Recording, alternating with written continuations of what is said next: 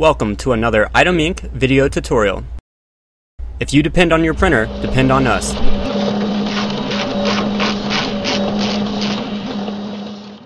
Every 150,000 prints, you should replace the fuser maintenance kit of your Dell 5330DN printer. This will reduce the likeliness of jams, improve print quality, and extend the working life of your printer. The part number is D5330-Z1. Kit includes a pickup roller, transfer roller, and fuser. First, power off and unplug the machine. The fuser will be hot, so give it some time to cool down. Remove the duplex unit.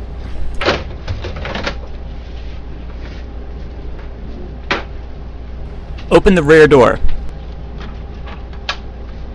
Turn the door stopper to release it from the printer. To remove the door, lift the right side up first and then slide out the left side.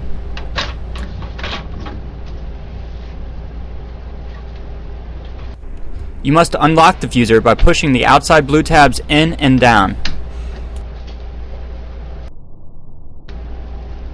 Pull the fuser straight out and install a new one in its place.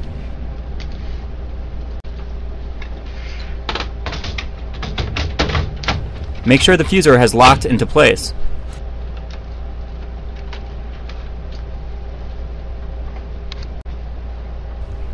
Slide the left side of the rear door in first, and then lower the right side.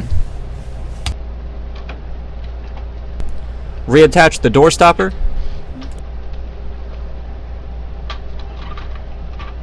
And close the rear door. Now reinstall the duplexer. Open the top door and remove the print cartridge. Inside, you should see a blue plastic tab securing the transfer roller. Press both ends inwards to release it.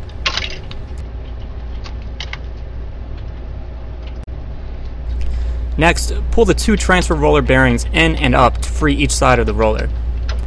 You may need to lift from the shaft if they are difficult to release.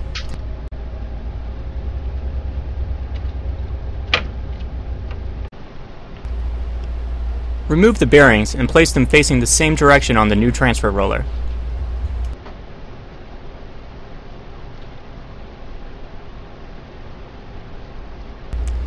Install the transfer roller, making sure the bearings go in the correct slots.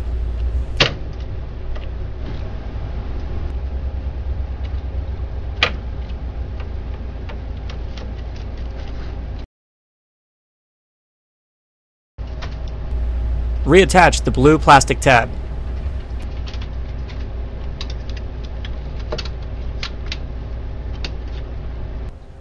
Reinstall the toner and close the top door.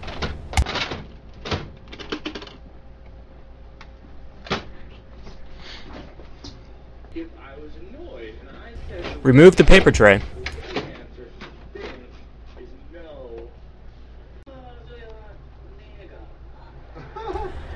Pull down the small tab and slide the pickup roller off the shaft.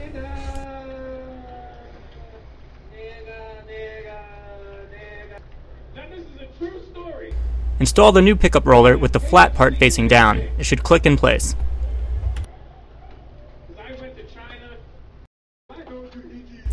Reinstall the paper tray.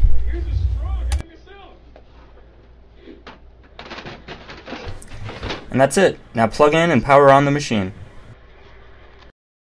To order this part, or any of your printer needs, please log on to www.iteminc.com. That's www.iteminc.com.